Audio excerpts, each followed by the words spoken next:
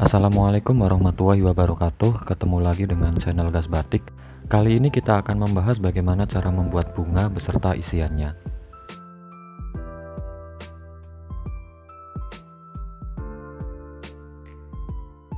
Nah bunga pertama yang akan kita bikin bentuknya seperti itu.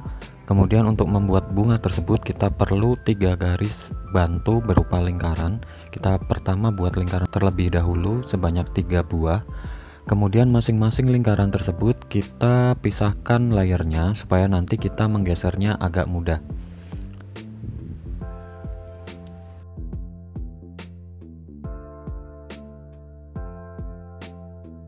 Nah setelah jadi tiga lingkaran pertama tentukan berasnya terlebih dahulu beserta warna yang akan kita bikin.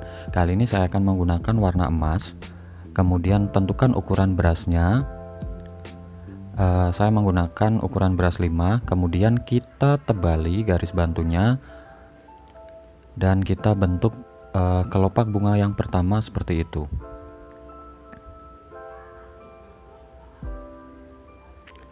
Nah setelah selesai kita buat kelopak yang kedua bertumpu pada garis lingkaran yang paling luar.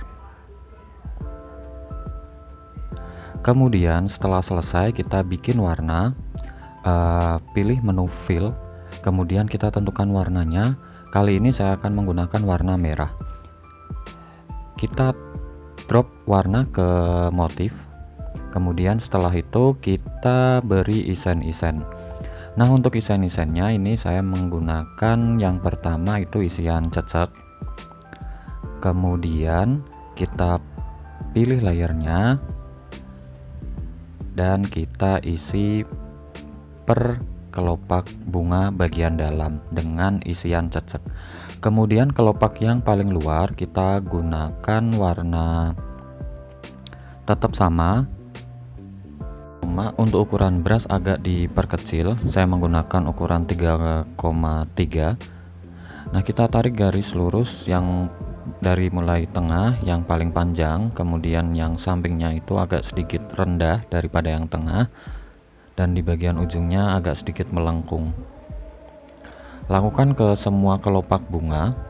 Setelah selesai, kita beri isian cecek lagi, tapi kita bedakan warnanya dan menggunakan warna putih. Serta ukuran berasnya kita perbesar kembali, serta di menu advance uh, spacingnya kita ubah menjadi lebih renggang dan kita beraskan ke kelopak bunganya. Nah, seperti itu jadinya teman-teman. Selanjutnya kita akan membuat bunga dengan isian sawut selundup. Untuk membuatnya kita memerlukan uh, dua buah lingkaran sebagai garis bantu. Kemudian kita tentukan warnanya serta tentukan uh, ukuran berasnya. Kalau sudah kita bentuk lingkaran pada bagian lingkaran yang paling dalam, kemudian bentuk kelopak bunga seperti ini dan lakukan untuk ke semua kelopak bunga kemudian untuk garis bantunya kita hilangkan dengan uh, ke pergi ke layer kemudian di unhide. Nah setelah selesai kita bu kita beri warna uh, warna yang akan saya gunakan nanti uh, merah marun. Kemudian kita ke menu fill dan kita tapkan ke motif tersebut. Nah setelah selesai kita kembali ke layer bunganya kemudian kita kasih isen sawut selundup untuk warna isiannya kita sesuaikan dengan warna kelowongannya yaitu kuning emas. Dan ukuran berasnya kita perkecil. Kemudian kita lakukan uh, mengisi bunga dengan isian sawut selundup yaitu uh, garisnya nanti panjang sama pendek. Seperti itu.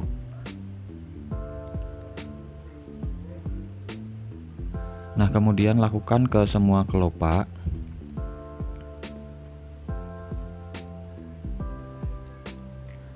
Setelah selesai uh, kita kasih nanti isen-isen cecek pada bagian yang masih kosong uh, untuk isian cecek kita ubah warnanya menjadi warna putih serta berasnya juga kita perbesar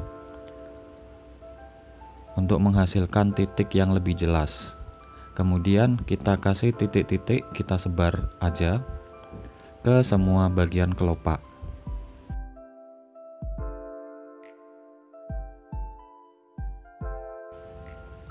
Nah, kalau sudah jadinya seperti itu, teman-teman.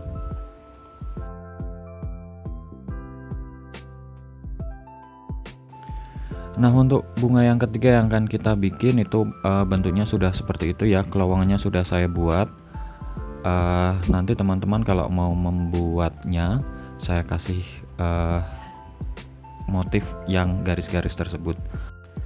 Nah untuk langkah awal kita kasih warna ter terlebih dahulu uh, bunga ini. Uh, saya menggunakan warna ungu yang paling tua untuk sebagai warna dasarnya karena nanti kita akan menggunakan uh, warna per layer.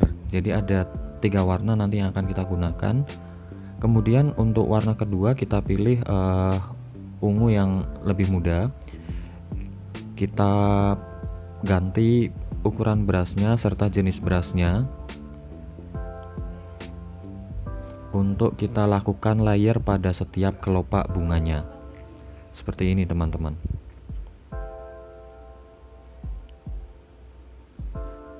Nah kita buat uh, apa namanya layer yang goresan yang tidak terlalu beraturan seperti itu. Lakukan ke semua kelopak bunganya.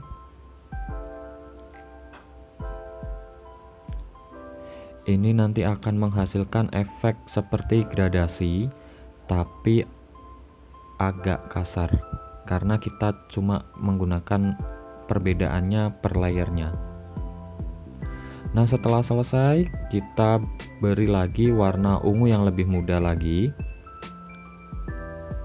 Kita goreskan pada setiap kelopaknya seperti ini teman-teman. Jadi menyisakan uh, warna ungu yang sebelumnya kita gores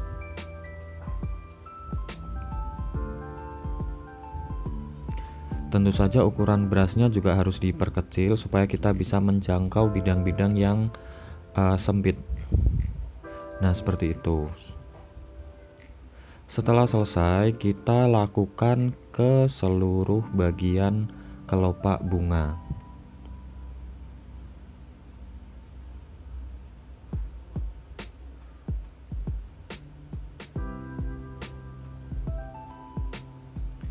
Nah untuk warna terakhir kita menggunakan nanti warna putih.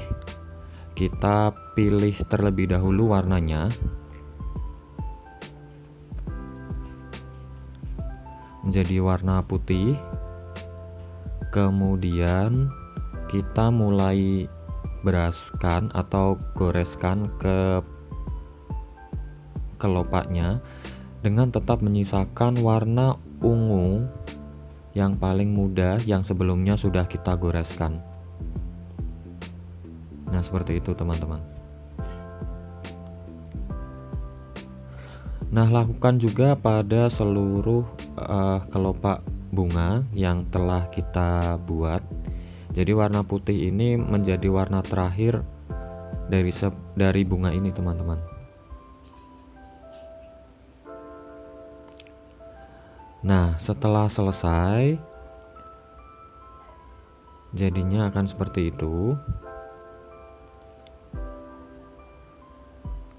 Nah, setelah selesai, kita kasih isen-isen dengan cara isen-isennya kita yang kita akan kasih yaitu cecek. Kita ubah dulu ukuran berasnya untuk warnanya masih tetap sama yaitu warna putih tinggal kita rubah ukuran berasnya sama uh, nanti di menu advance spasinya kita rubah.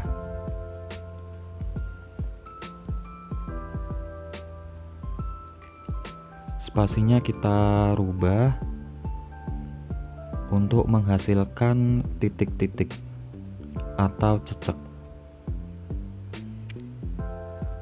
Nah kita mulai goreskan dimulai dari bagian yang paling tengah. Nanti untuk uh, garis atau titik-titiknya kita buat tidak tidak rata yaitu panjang sama pendek seperti itu